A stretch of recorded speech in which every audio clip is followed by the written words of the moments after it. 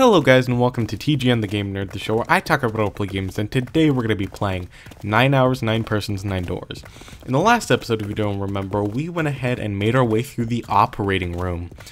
That room was kind of depressing. It was almost kind of funny at first, but by the end, Clover stated that she thought her brother might be dead and that she was going to be killed next. Which is a very sad note to end off the room on, so we're kind of just begrudgingly making our way through the hallway. Anyways, let's continue. They left the operating room. The hallway took them around several corners and past several doors, but they were all locked. Until at last, and the final door was hidden in a corner of the hallway. Junpei grabbed the handle. As he made to push it open, a voice stopped him. The voice came from behind him and belonged to neither Seven nor Clover. Jumpy! He spun around. He saw someone running toward him from the other end of the hallway. There were three people coming toward Junpei and his companions. Santa, Lotus, and June. They pulled up short in front of Junpei, breathing hard. Whoa! What the hell is this? What are you doing here? What? We didn't. Before he could finish, Clover spoke. Hey guys, could you come take a look at this? She was standing near the end of a small hallway that branched off to the right. The rest of them ran over to her, curious as to what she'd found. There was something on the wall at the end of the hallway. Map of the ship's interior. It said C deck in the upper left corner. It was, they assumed, a map to the floor they were on.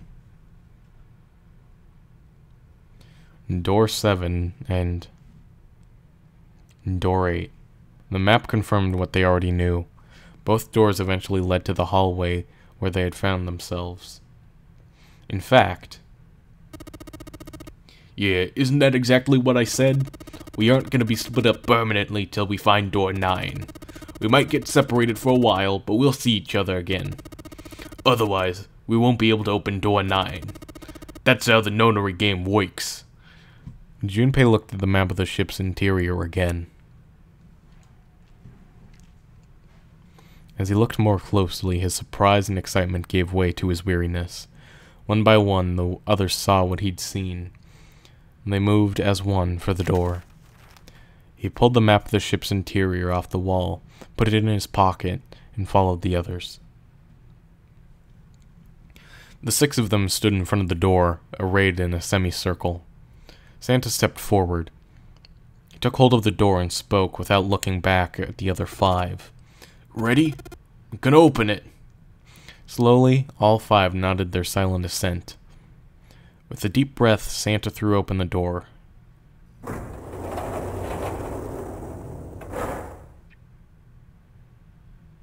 They poured through the doorway and into the room. Even without looking around, each one of them knew where they were. They were just where the map had said they would be. The same room they'd been in not so very long ago. The tremendous central hospital, with empty beds from wall to wall. I see. I believe I understand what you're saying. The six of you split into two teams and went through doors 7 and 8. You solved the puzzles in the operating room and the laboratory, and then met one another in the hallway after opening your respective locked doors. It looked, it looked like anyone might, after only just waking up, but it seemed that his brain was working as well as ever. He managed to grasp, summarize, and understand each team's report.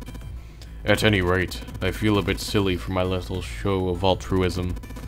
I'm sure you'll be back for me. I did hope you'd come back, but I confess I didn't think you'd be back so soon. Ace shook his head with a rueful smile. Well, we saw each other again and we ain't dead, so I say that's good enough. Seven smiled. Anyway, I say we ought to get out of this creepy old place. We found the key we need. The key? Ain't that what I just said? I'm talking about the Jupiter key. We found it in the operating room. Right, Junpei? Junpei nodded. Ah, the solar system keys. Actually, we found one in the laboratory too.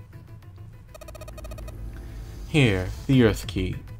Lotus dug out a still warm key with an Earth symbol on it. I might lose it. It's probably better if you hold on to it. That way it won't be my fault if it gets lost. And with that, she pressed it into Junpei's hand. He felt slightly less than honored. As a group, they now had three keys that had not been used. The Jupiter key, which had been found in the operating room. The Saturn card, which had been found in the kitchen. The Earth key, which Lotus had just handed to Junpei. Junpei tucked the new keys into his pocket. June spoke up. The Jupiter key is supposed to be for the door at the end of that long, straight hallway, right? Yeah. If the map's right, then it connects to the central staircase. Then next to the stairs. Oh, wait. They, they were the first words anyone had heard out of Clover in quite some time. Her face suggested they weren't going to be very happy words. What about door 3? Look, you saw the map, right? It's the same as 7 and 8. It just lead it just lead us back to the big hospital room. There's no point in seeing what's on the other side of that door. There is a point. At least there is for me. There were tears in her eyes, but she glared at Seven as hard as she could, just the same. She looked very much like a frightened puppy. There wasn't a man alive who could have resisted those eyes. Seven looked everywhere in the room except at Clover and muttered and coughed apologies under his breath. Yeah, you're right. I'm sorry. Snake might be on the other side of the door three. Clover nodded once. The next person to speak was Ace. Very well. I'll be coming with you then. I've had a nice long rest. Think it's time I was up and about again. So, Seven, you'll help me, won't you? Huh? Me? Junpei did the calculations quickly in his head. 4 plus 1 plus 7 is 12, 1 plus 2 equals 3. It looked like 7 was doing them too. At last, he gave up. Damn. Well, I guess that's how it's gotta be. So I'm going with you, huh? Yes, you are. Alright, let's get moving. And so it was decided that Clover, Ace, and Seven would discover what lay beyond door 3. Okay, we're heading out. Be careful. Whoa, didn't think I'd be hearing that from you, Lotus. Don't let it get to your head. I'd be in trouble if the three of you bought it. The rest of us can't open the door 9. Ah, the truth comes out. Seven nodded as if the answer made much more sense and pulled the lever on the red.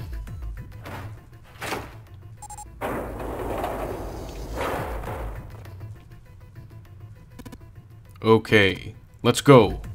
The door opened, and Ace, Clover, and Seven jumped through it. Six, seven, eight. After exactly nine seconds, the door closed noisily. Alright, we should get moving too. Huh? Get moving? Where are we going? Everyone except Lotus seemed rather confused. Well, it would be a waste of time to just sit around, wouldn't it? Let me explain. I get it. We're gonna see if we can get anywhere interesting with the Jupiter key. Yes. If we're lucky, we might find Snake. They were at the end of the hallway lined by individual hospital rooms. The Jupiter symbol was engraved on the keyhole. All right, Junpei. Open it if you please. Yeah, on it. Junpei pulled the Jupiter key out of his pocket and slid it into the keyhole. He twisted. With a nice sharp click, he felt the door unlock. Alright. Ready, guys? Junpei's companions nodded. He nodded back, then slowly and quietly opened the door.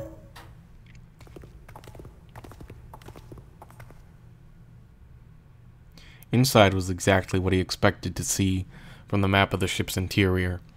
They were in a tremendous hall, almost like a ballroom, with a massive central staircase. Great, back to the beginning. You sure this was a good idea? What do you mean? Well, we already searched every inch of this room, didn't we? I'm asking you if there's any reason we came back here. No idea. No, that's a good question. Junpei looked off into the distance thoughtfully. Lotus sighed and shook her head. I can't believe this. You guys followed me here, but you don't even know why?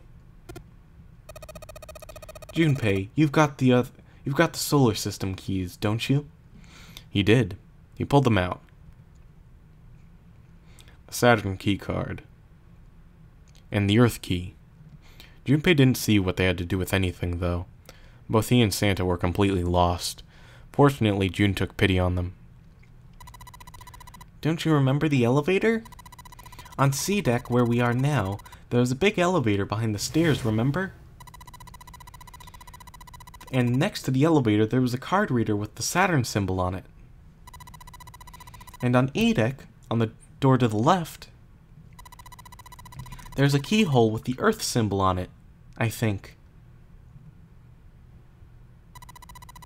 So the two keys that Jumpy has should let us use the elevator on and the door on A deck, huh?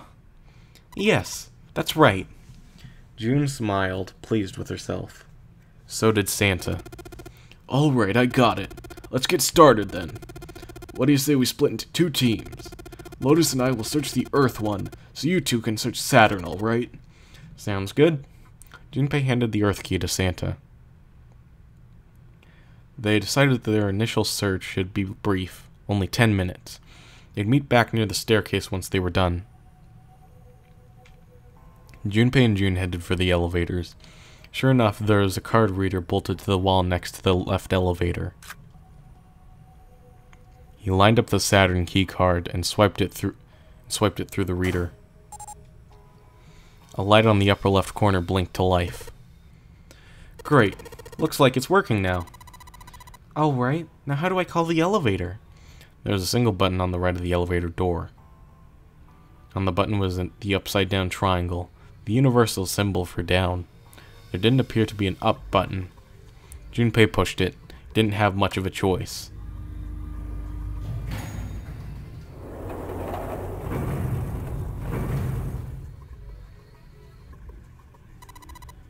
It, it opened! Look, Jumpy! June's voice was excited, but Junpei could hear a tinge of anxiety. Sweet, it opened. Let's get going. He grinned at June and stepped toward the open door. As he was about to set foot in, he felt a hand on his arm. Wait! What? I, I, I'm not really... Uh, I just... Oh gosh. Junpei was at something of a loss. What could she possibly be so frightened of? June was probably afraid of... So the bottom one is the correct answer, but uh, the top one here leads to a funny scene that people would get mad at me if I skipped over, so... Being locked up alone with a boy. After a little thought, Junpei decided that she had to be nervous about being locked in, up in such a small place alone with a boy. In a way, it was kind of cute. Very demure, you could say, he thought.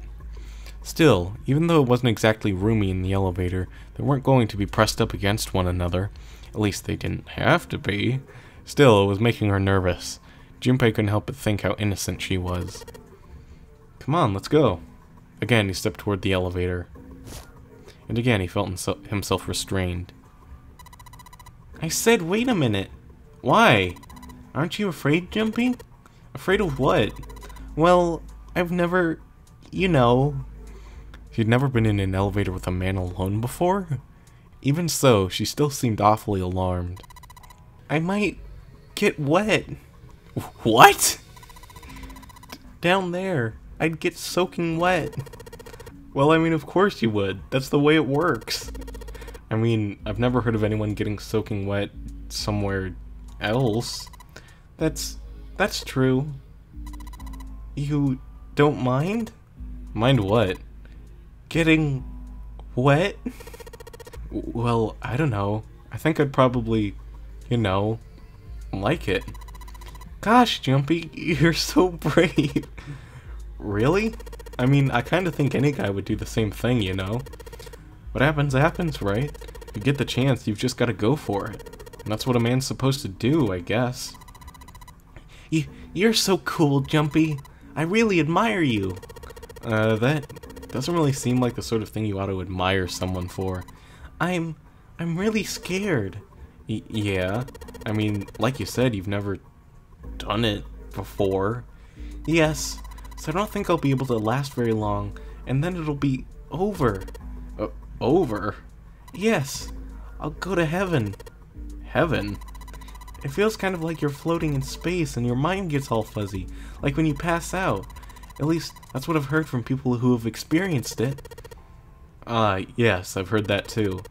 Although I don't think the same thing happens to guys. What? Huh? But it would happen to men too, wouldn't it? It would happen to anyone. Once it gets into your body, the same thing happens to everyone. Well, I mean, usually it doesn't go inside the man. I mean, generally. Yes, it does. Well, eventually it will. Not like you really have a choice. Your body will force you to swallow some of it eventually. What are you trying to do to me? Nothing. I'm not I'm not going to do anything to you. I'm just saying that that's what happens. It's a psychological reaction to what you're experiencing. Was was that really how it happened? It occurred to Junpei that perhaps that was how it worked. Perhaps he'd been mistaken all these years. He misunderstood life so gravely? The thought terrified him. June seemed to be entirely oblivious to Junpei's mounting confusion and terror. I know most men probably have larger lungs, but even then I don't think you could hold your breath for 20 or even 10 minutes. Eventually you're just going to have to breathe and then the water would get to your lungs. Once that happens, your body won't be able to get oxygen anymore and you'll start to feel that floaty feeling as you pass out.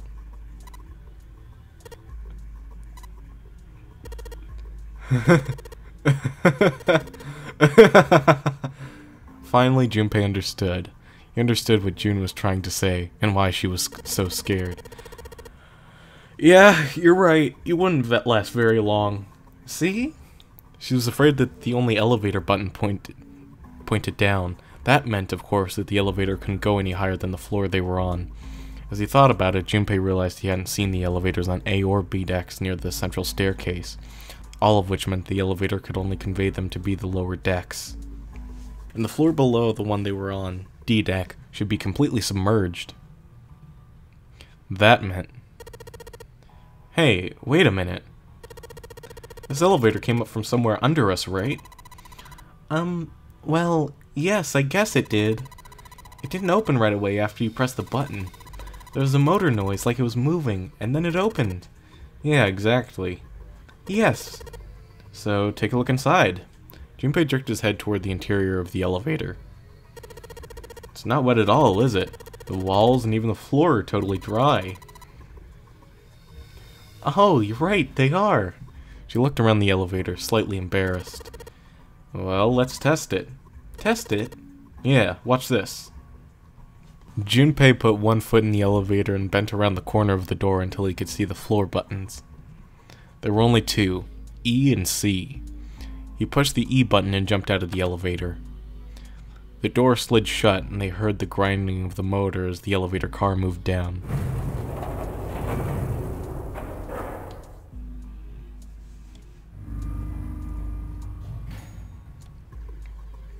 A few moments later, they heard the sound of the elevator door grinding open several floors below. Junpei nodded to June and pressed the elevator button again. A few moments later, the elevator returned.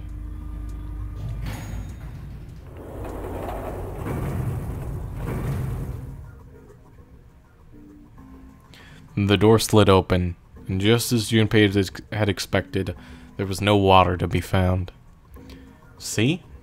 Junpei couldn't resist puffing out his chest just a little bit. June, however, still looked confused. What does that mean? How can E-deck be safe if the D-deck is full of water? Well, here's what I think. The elevator shaft and E-deck must be watertight and separated from wherever the, the ship's been punctured. Here, let me show you. He pulled out his notebook and pen and sketched out a rough illustration. I see. So is that why the ship hasn't sunk? The shape the shape of the inside keeps all of it from filling with water? Yeah, I think that's what's going on. Junpei continued talking as he closed the notebook and slipped it back into his pocket. So I'm gonna go down and check it out. You stay here, alright? Um, but... Come on, just do it, alright? He gave June's shoulder a reassuring squeeze, then hopped onto the elevator. He pushed the E button and the door began to close. June looked worried, her eyes darting back and forth as if she was trying to make a decision when suddenly... "I- I'm coming with you. Huh? At the last possible moment, June dashed forward, turning sideways just in time to slip through the gap between the closing doors. Junpei jammed his finger against the open button. But it was too late. The door had shut. He and June were in the elevator, and it was headed down to E deck.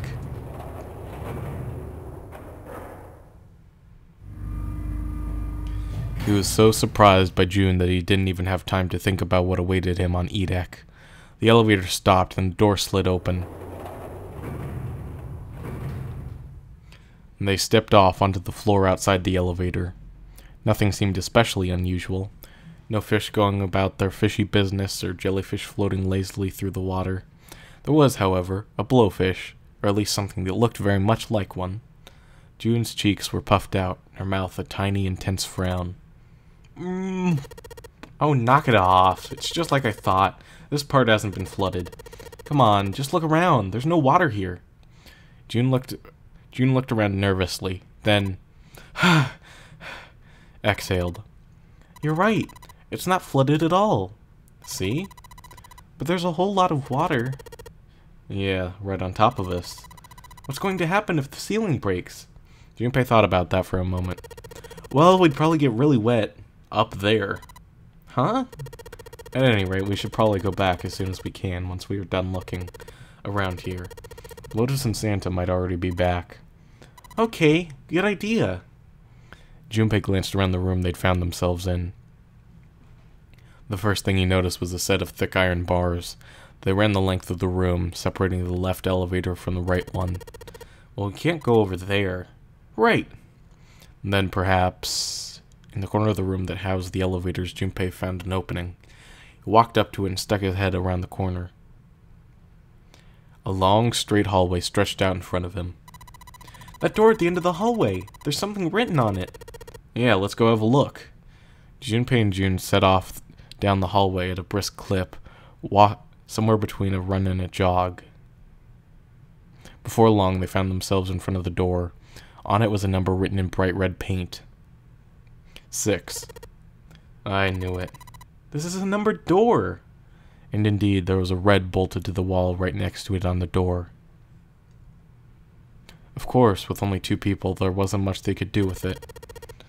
Alright, let's head back. Yes!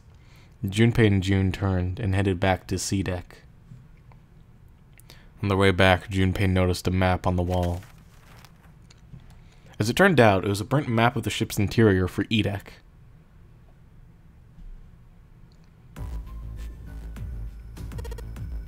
Huh. So you guys found door one. They'd met back up with Santa and Lotus who had explained what they'd found.